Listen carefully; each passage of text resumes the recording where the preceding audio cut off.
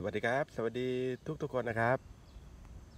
พาทุกคนมาดูบัวผอมนะครับ ซึ่งเราปลูกในเนื้อที่หนึ่งไร่ของทางสวนนะครับ ซึ่งเรามาดูวิธีการปลูกนะครับของทางสวนนะครับ ว่าเราใช้วิธีแบบไหนนะครับในการปลูกนะครับ ผมใช้วิธีโดยการหยอดเมล็ดโดยตรงเลยนะครับ ในการปลูกบวบนะครับ ซึ่งเรา เก็บสายพันธุ์ไว้สืบทอดเองนะครับ นี่นะครับบัวผอมของทางสวนนะครับ เราก็ขุดหลุมนะครับ ไม่ต้องลึกมากนะครับ แล้วก็หยอดเมล็ดนะครับ2อถึงสเมล็ด ผ่านไปสักสองสามอาทิตย์นะครับเขาก็จะงอกนะครับ เป็นลักษณะต้นประมาณนี้นะครับ นี่นะครับ ผมหยอดไปสามเมล็ดนะครับ นี่นะครับสามเมล็ด ประมาณสามอาทิตย์นะครับ นี่นะครับเราก็จะรดน้ำทุกๆวันนะครับ เพื่อให้เมล็ดนะครับ มีความชื้นแล้วก็งอกนะครับ ก็จะได้ลักษณะต้นประมาณนี้นะครับ ในส่วนของปุ๋ยนะครับ ผมใช้ 2577 นะครับ ในการใส่ต้นที่กำลังเล็กประมาณนี้นะครับ เพื่ออเร่งการเจริญเติบโตนะครับ ให้ลำต้นนะครับสมบูรณ์นะครับ ครับหลังจากผ่านไป 1 เดือนนะครับ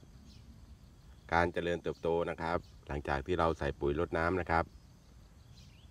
นี่นะครับเขาก็จะมียอดนะครับเลื้อยขึ้นไปนะครับ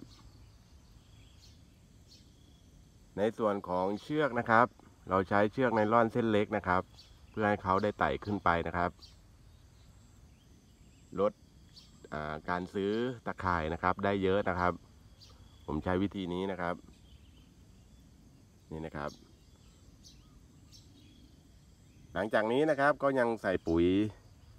บำรุงต้นเหมือนเดิมนะครับ แล้วก็รดน้ำในช่วงเช้านะครับ ตอนเย็นนะครับ ผมจะไม่ได้รดน้ำนะครับ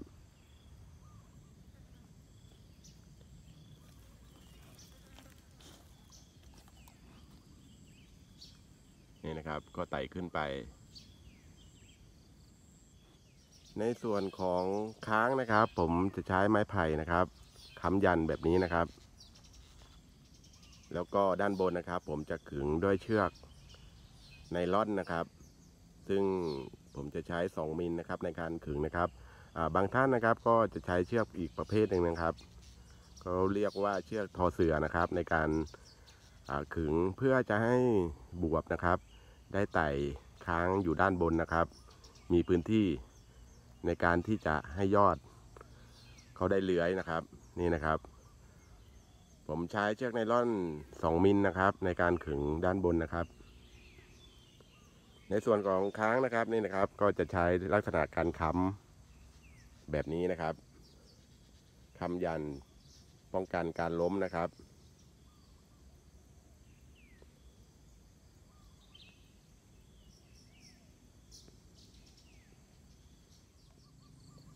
ผ่านไปประมาณ 2 เดือนนะครับ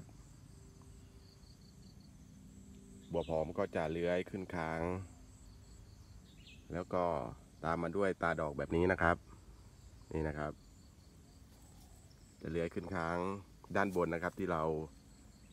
อ่าได้ขึงเชือก เอาไว้นะครับนี่นะครับ การขึงเชือกด้านบนนะครับ เพื่อให้ยอดของบวบนะครับ ได้มีพื้นที่นะครับในการเลื้อยนี่นะครับ ยอดก็จะใหญ่ ๆนะครับ ในส่วนตรงนี้นะครับก็จะใช้ปุ๋ย 8 24 24 นะครับ เพื่อบำรุงดอกนะครับ แล้วก็บำรุงลูกนะครับ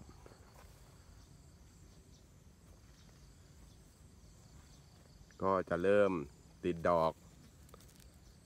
แล้วก็ลูกนะครับเล็กๆแบบนี้นะครับ นี่นะครับ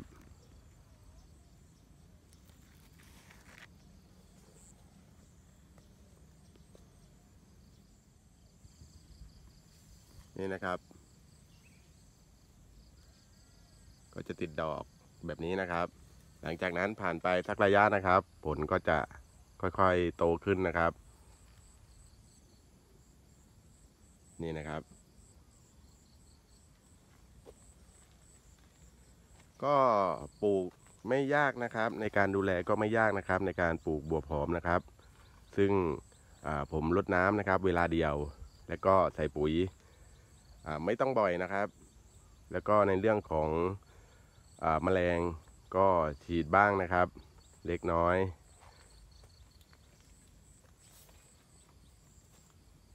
นี่นะครับ ก็จะติดลูกนะครับ ให้เราได้รับประทานนะครับ ในส่วนของลูกนะครับที่เราจะป้องกันนะครับก็คือแมงวันทองนะครับ เขาจะมาเจาะลูกนะครับ นี่นะครับทำให้ลูกเน่าได้นะครับ แมงวันทองนะครับ เขาชอบอามาเจาะลูกนะครับ แล้วก็อีกอย่างหนึ่งนะครับนี่นะครับ ก็จะเป็นในส่วนของเรื่องมดนะครับนี่นะครับ เราก็มันฉีดยานะครับกำจัดมดยาฆ่าแมลงนะครับ นี่นะครับ ก็พาทุกคนมาดูวิธีการปลูกบวบของทางสวนนะครับ ตั้งแต่ต้นเล็กๆนะครับ จนได้เก็บผลผลิตนะครับนี่นะครับ ครับผมสำหรับคลิปนี้นะครับ ก็ต้องขอตัวลาไปก่อนนะครับ เจอกันคลิปหน้านะครับ สวัสดีครับ